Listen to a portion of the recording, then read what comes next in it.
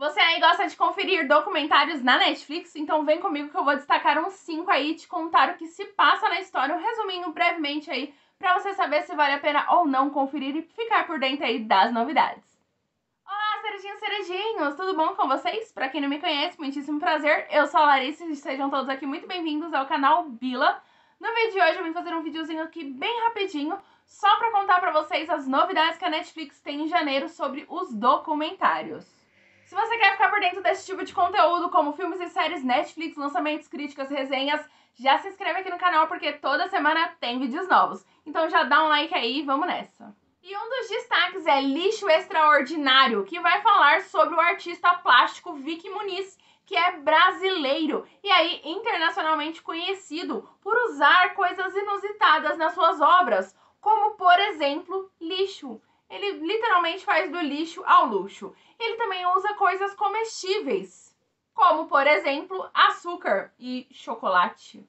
O cara conseguiu fazer a Mona Lisa de Leonardo da Vinci com pasta de amendoim, manteiga de amendoim e geleia. Meu, ele é super talentoso. E nessa produção nós vamos acompanhá-lo junto com catadores de lixo em um aterro sanitário lá no Rio de Janeiro em busca ali de tesouros, né, de coisas ali para suas obras. Então eu acho que é uma coisa muito criativa ali e que parece ser bastante legal. Acho que vale super a pena conhecer. Um documentário que vai estrear aí no dia 11 de janeiro é o Crack, Cocaína, Corrupção e Conspiração. E nessa produção nós vamos ver que durante uma recessão econômica surgiu uma droga poderosa e barata ela foi impulsionada ali pelo racismo, a sociedade entrou ali em um pânico moral, então nós vamos por fim conhecer a complexa história do crack na década de 1980. É uma história aí que não conheço e que acho que vale a pena ver. Quase ia me esquecendo da história do Palavrão, que é uma série documental com seis episódios de 20 minutinhos cada, apresentada pelo Nicolas Cage, que vai nos contar aí, vai nos explicar sobre a origem, a história, os significados dos palavrões, obviamente que na língua inglesa. Vão ter convidados especiais eu acho que vai ser uma série documental aí, mais uma de alta qualidade Netflix. Para quem se interessar, eu acredito que vale a pena conferir. Se você já está gostando, por favor, não esquece de deixar aí a sua curtidinha e também de apertar aqui no botão inscrever-se. Outra produção que também já está disponível é o Retones Paranoicos, Por Trás das Câmeras.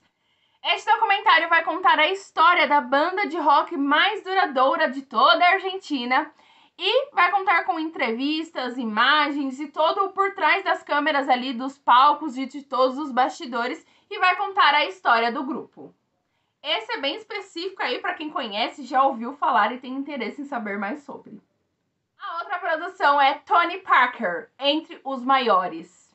Este documentário vai analisar toda a história e a carreira de um dos maiores jogadores de basquete da França de todos os tempos. Então nós vamos conhecer de perto e entender como a sua determinação pode tê-lo transformado no maior jogador de basquete da França. E por último, e que confesso que achei menos importante, é o documentário Faz Conta que Nova York é uma cidade. Nele nós vamos acompanhar, né? A gente vai passear pelas ruas de Nova York e ver a mente fascinante de uma escritora. Ela é também humorista e ela é contadora de histórias. O nome dela é Fran. Fran. Não vou me arriscar a falar esse sobrenome, me perdoem, mas vai estar tá aí na tela para vocês. Enquanto ela vai se sentar lá com o Martin, que também deve ser uma pessoa muito importante aí. Enfim, acho que é mais específico para o pessoal americano ou que conhece a cultura americana dos Estados Unidos, enfim.